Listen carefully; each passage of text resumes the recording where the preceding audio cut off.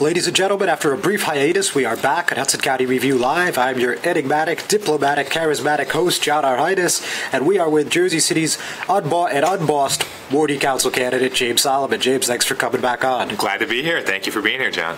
No problem. So, you know, obviously November 7th uh, now is in the rear view. You It finished is. in the top two. Uh, anyone that was paying attention to this race was anticipating a runoff. Um, you know, you came in second place, so, you know, the finish line is now on December 5th. I mean, what was your takeaway from uh, a couple weeks ago? I guess a week and a half ago now. Yeah, I mean, we feel great. We are incredibly excited to be in the runoff. Um, we think we're going to win. And, uh, you know, I think the biggest thing that we learned on the 7th was, A, you know, how energized our supporters were. Uh, we saw incredible enthusiasm across downtown. Uh, we had people at every single polling place, you know, out there with signs, with literature, uh, which made a huge, huge difference for us. Um, and we think that our voters are really excited to go back out on December 5th. So, as you know, Mayor Fulop did not endorse in this ward, but, uh, you know, there's always rumors and conjecture about who's working for who and who's pushing which agenda. So, I mean, did you get the feeling that all five candidates were running independently? It's a great question. Uh, what I would say is this: first, I am extraordinarily proud that this campaign is truly independent. Right, there is no boss in the background. Um, there are no sort of donations being funneled from you know multiple sort of machine sources. Um, we are running an independent campaign, and if I'm elected, I will be an independent voice for the people of downtown, because I think the city desperately needs.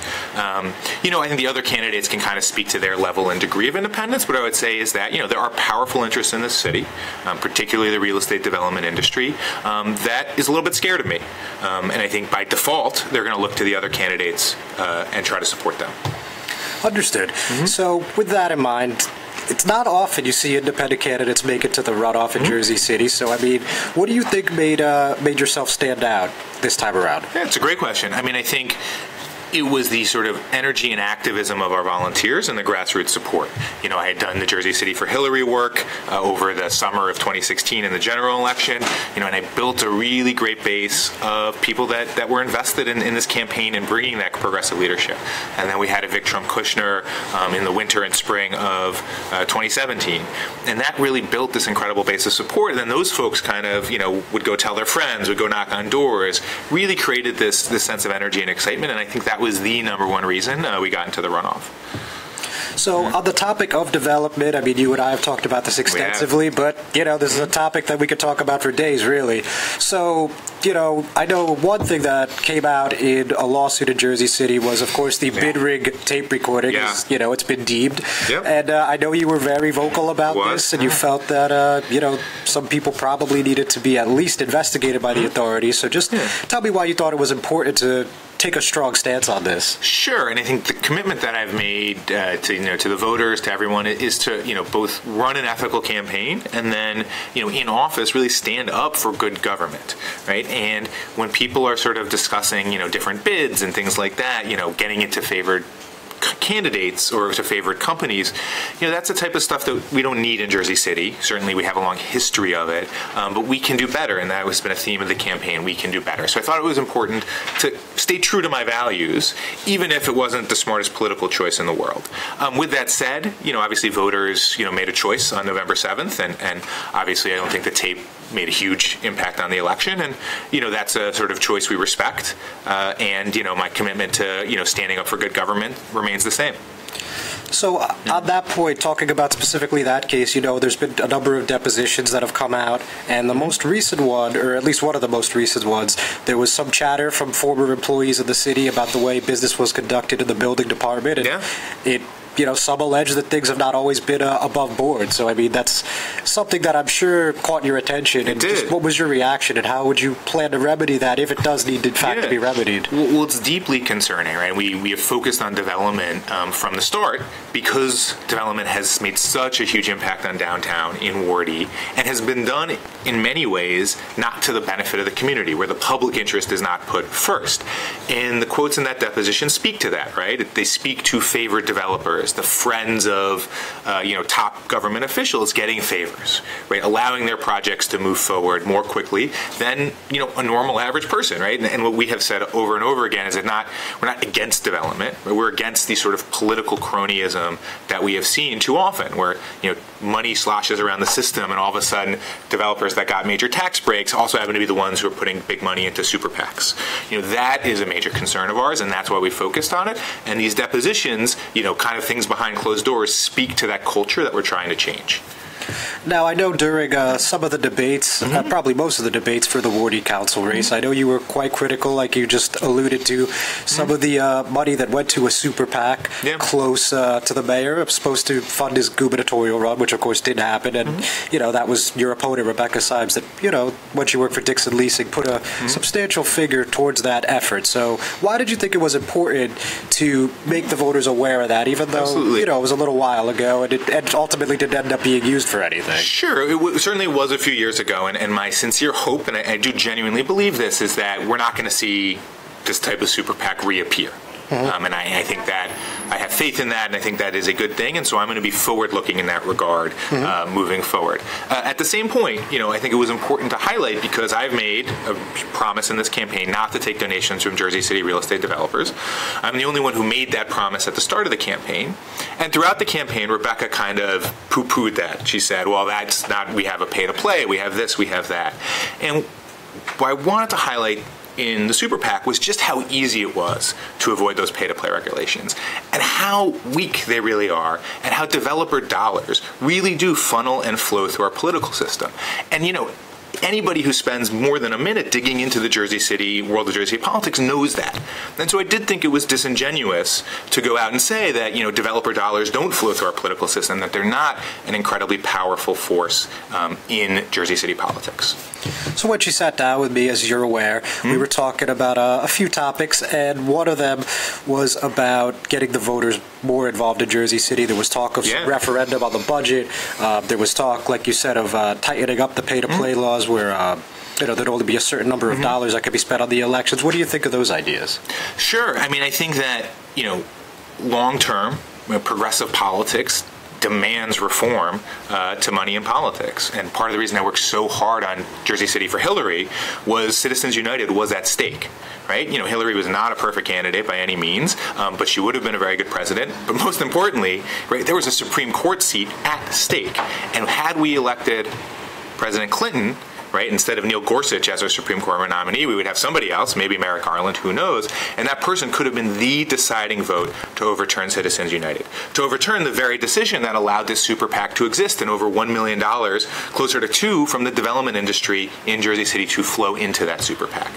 So I, you know, will work extraordinarily hard at the local level on reform, um, but also will continue to have a focus on a national perspective because that's where fundamental campaign finance reform will take place.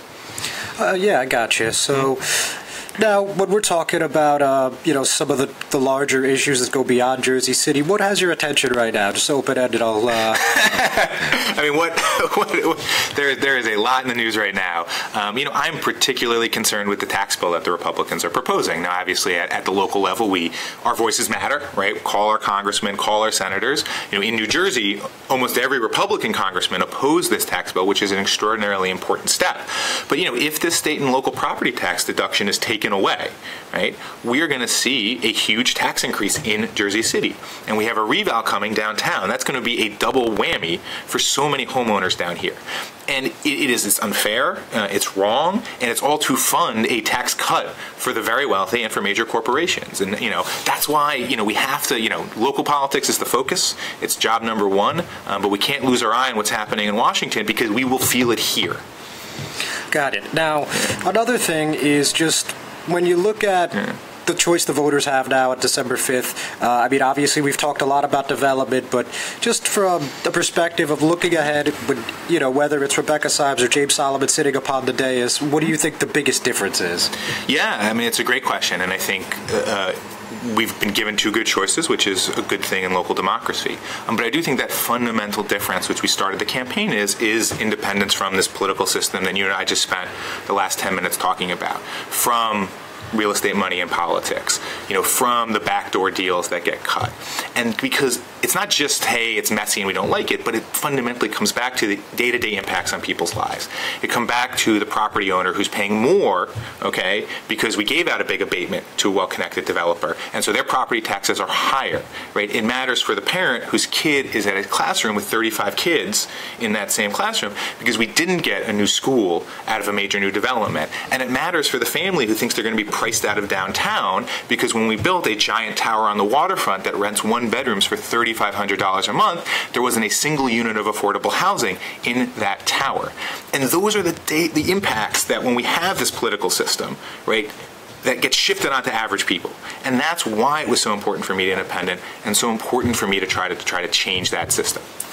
All right. Mm-hmm. Now, another thing that I'm going to guess caught your attention, I think mm-hmm. earlier this week, or it was earlier this week, Mayor Fulop tweeted that there's a good chance that next year he's going to try to leave a referendum up to the voters and eliminate the runoffs. Mm-hmm. Um, and we've seen this before. I mean, you saw what was going on in Hoboken just a few weeks ago. Yeah. So, I mean, what do you think about that potential uh, idea? What I would love to see is ranked choice voting, which kind of gets you know into the weeds, but it allows us to on November not just vote for one person, but actually rank your choices. Now it requires state legislation to change. So what I would love to see is instead of pushing an elimination of the runoff in the short term, that we push our state legislators. So you know we have two senators, four assemblymen that represent Jersey City, assemblymen and women, um, that we ask them hey guys, be leaders. Let's get into vote reform. Let's change it so that we can have you know significantly better voting systems in New Jersey, um, and then let's push reform um, because I think a you know this sort of quote unquote ranked choice voting or instant runoff would really actually help independent candidates. It help candidates. Um, who run campaigns that are you know appeal to a broad section of the people as opposed to a very narrow section, uh, and that's the type of reform I'd like to see. And just for those that aren't familiar, could you just uh, elaborate a little bit on how that um, scenario with the instant runoff would work? Yeah, sure. So uh, this is, trying to be professor mode here for a minute, but basically, you know, we had five candidates, or actually six on the ballot uh, in uh, November for Ward E. So what you would do when you go in to vote is you wouldn't just vote for one; you would actually rank them one through six. And if no one gets 50%, what you end up doing is taking the sixth place person's votes, and you say, okay, they voted first for this person. Who they vote for second? And then you redistribute them to their their second place choice. And then you say, did anyone get 50%? And if nobody did, you go to the fifth place person. Okay, say we're going to redistribute their votes to who they put in second, and so on and so forth until one candidate gets 50%. And it allows for people to really have greater choice, right? You had six choices, you probably had a preference, right? Who is first, who is second, who is third, um, and that will allow greater public choice in the process. Uh, it does require state change, though. So realistically, if this was something that was going to come to uh, Jersey City and the whole state of New Jersey, how long do you think this would take? Well, you know, I don't know all the sort of you know logistical details. If the state changes it in the next couple months, you know, I think then we'd sit down with the county board of elections and sort of determine how quickly they could institute a system like this. But you know, I, I think we skimp frankly, on democracy, right? We, we don't put enough into uh, the basics of our democratic system of voting, uh, and I think it's worth it to really invest in uh, having sort of free and fair elections. All right. And then since the last time we spoke, uh, is there any specific development projects that have caught your attention that you've really been keeping an eye on? Sure. There, there have been a few. Um, one that I'll mention, which is disturbing, and this has been ongoing, but is the situation at Liberty Harbor with the Moccos. Um, they have, um, and I, when I tell people this, they don't believe me. So they have a monopoly where they actually own the streets. They don't city doesn't own the streets. The Moccos own the streets. And that allows them to control what utilities go in. So for internet, for cable, for television. And they have decided that they're not going to allow competition, that they're going to keep Verizon, Comcast, whoever out. Um, but instead, what they're going to do is have their own internet company, Gold Coast Broadband.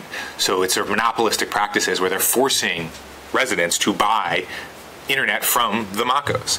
And they have provided, you know, piss poor service. There's no, there's no other word for it, right? It's terrible. Uh, and folks there are extraordinarily frustrated. Uh, and I think, you know, uh, that's the type of sort of corporate power, developer power, monopoly power uh, that we need to be fighting. And, and I don't think, you know, look, I, you, we have to be very sort of careful about the legal angles and the political angles we pursue to change it. Um, but I simply, you know, think that at a very minimum, we have to say it's completely and totally unacceptable um, that they would sort of try to have this uh, internet cable phone monopoly in Liberty Harbor. And how many people approximately are impacted by that? It's a great question. I mean, I, my sense is the population of Liberty Harbor is around a thousand, but I could be wrong about that. I mean, I kind of know it from the voter file. Um, So that's not an exact population count, but it's significant, right? And and uh, uh, you know it, it is concerning. And you know, what's what do you think? You know, let's just say fast forward uh, to 2018, you're on the Yeah. council. What, what would be something you could do to try to remedy that issue? So I think that's a great question, and I think it starts with bringing public attention and pressure to it. And I, I should say that there are community activists who have been working on this, and they deserve the lion's share of the credit for pushing it forward. Um, but I think they need allies in government and allies who are not um, closely connected with the real estate development industry. So, uh, you know, for me, we'll look at every angle possible. We'll look at legal angles. We'll look at negotiation, um, and we'll do everything in our power to change it.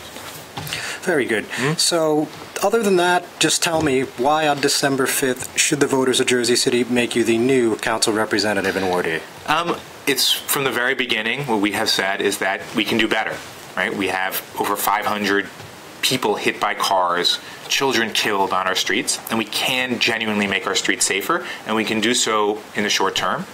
We can reform the development process to make sure that it works for you, that we're not against it, but that's well planned, that we think about school space, we think about the PATH train, um, and last but not least, we're thinking about tax dollars, right? We're not giving out these giant abatements anymore, um, and we're making sure every single development returns significant benefits back to the community, significantly greater than they've done over the last couple of years. And I believe I'm the best candidate to deliver on those promises. Since you brought it up, and since I didn't ask about it, just one follow up about the safe streets. What do you Yeah. think's uh, What do you think's the most important thing to try to prevent those I mean, fatalities? I mean, it couldn't be more important. I, I think the biggest one is road engineering. Um, you know, enforcement has a place. There's, um, you know, you have to do it. Uh, responsibly and ethically and, and work with our police department so that we're not just giving tickets to people but road engineering um, is permanent. And there are going to be some examples and I, I give the city great credit. There's a great pilot at second and newark. It's significantly safer. I was just there the other day and a woman was crossing um, on a, with a cane. And instead of having to cross 50 feet where cars are coming in and out, particularly in those turns off of Newark, uh, she only had really a 12 foot section to cross, um, and it made it so so much safer for her. And that road engineering is permanent, right? You don't need a cop on that corner to stop people from turning. It's a permanent solution, and I think we should be doing that. Um, I appreciate the sort of the pilots and the need to get community input, but I do believe that the pace of that change uh, should be much quicker. All right, James. Always a Thank you. John. I appreciate it. Looks like Ward E mm-hmm. is going to have an interesting choice on December 5th. We mm-hmm. certainly appreciate the time. Mm-hmm. Uh, thank you, everyone, for joining us again. We will be back next week. Have a fantastic weekend.